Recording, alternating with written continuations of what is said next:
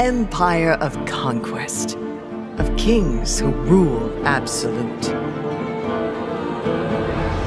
Kalista, spear of the Argent Throne, forswore the life of a princess and vowed to guard her uncle, King Viego, from any who would do him harm.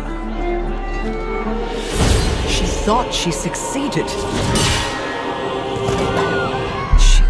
Protect his heart, his world.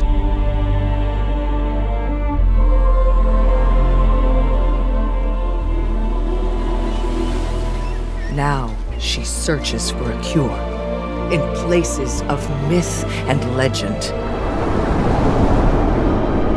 She is not prepared for the.